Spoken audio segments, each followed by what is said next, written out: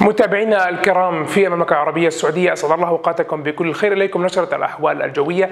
استقرت الأجواء اليوم في كافة ومختلف مناطق المملكة وكان الطقس مستقرا. لم آه، يعني يتم رصد أي زخات أمطار سوى في مناطق ضيقة جدا ومحدودة من أقصى جنوب غرب المملكة.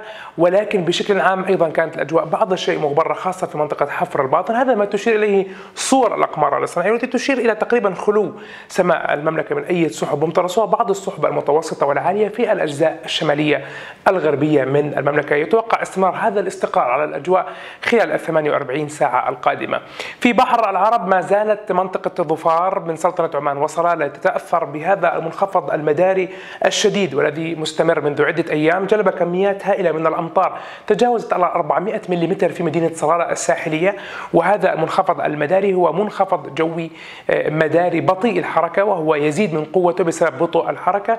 هناك نشرة جوية خاصة آه، بشأن هذه الحالة المدارية سيتم بثها عبر قنوات طقس العرب تتحدث عن مسار هذا المنخفض المداري والذي ربما يؤثر على أجزاء محدودة من المملكة. اعتبارا من يوم الثلاثاء قد تكون شرورة هي المنطقة التي تحت المجهر بشأن الأحوال الجوية المقبلة باتجاه المملكة. عودة إلى الأجواء هذه الليلة في العاصمة الرياض. طقس سيكون بوجه عام صافي درجة حرارة 29 درجة مئوية والطقس دافئ طبعا بوجه عام وجاف.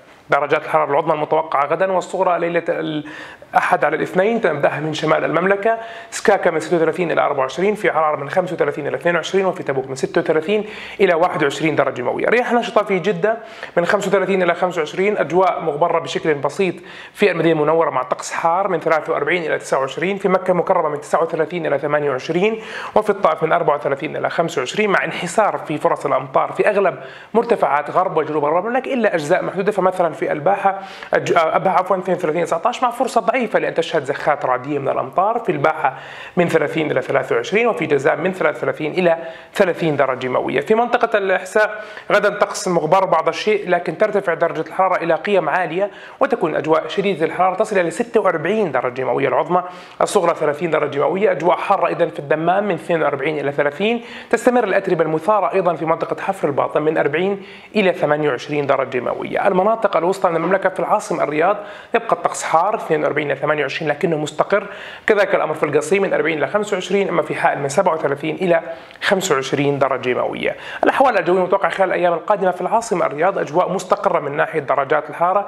تتراوح ما بين 42 إلى 43 في نها في ساعة النهار ومن 28 إلى 30 في ساعتين مع طقس حار بوجه عام في أغلب مناطق المحافظة وفي أغلب مناطق المملكة. تابعونا في نشرة جوية خاصة عن بحر العرب والتوقعات بشأن الحالة المدارية السائدة هناك. آه، آه، فيما إذا سيكون هناك هذا المسار أين سيتجه وتفاصيل أكثر عبر تلك النشرة الخاصة الرابعة. دمتم في رعاية الله. إلى اللقاء.